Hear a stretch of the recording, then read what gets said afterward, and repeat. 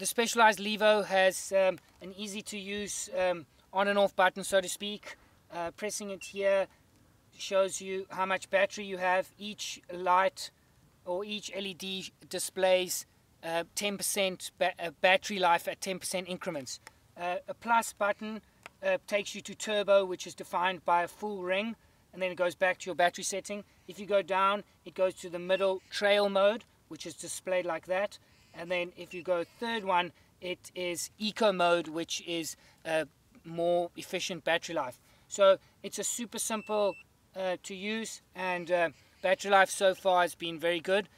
Uh, important to note that there is an app that's called mission control that uh, adjusts all of this stuff from your handset and it can talk to the likes of Garmin 800 and a Garmin 1000 and those that just I mean compatibility and cross compatibility is only going to get better as uh, as to will battery life. So I mean it's a positive, easy to use system.